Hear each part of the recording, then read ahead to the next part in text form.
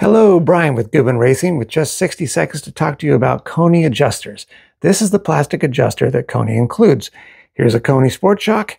This works okay, but over time, the non-metal piece at the bottom here tends to get rounded out.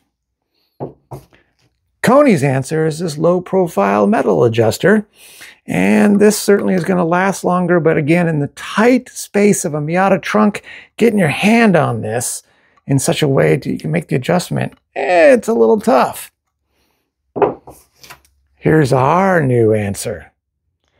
This has a little metal inserts in the middle, and you can get your hand back there. Instead of having to have your fingers extended to adjust it, you can put your hand flat on it. Bigger diameter means a little bit more torque. It's a lot easier in a tight Miata trunk to use this adjuster. Any questions? goodwinracing.com.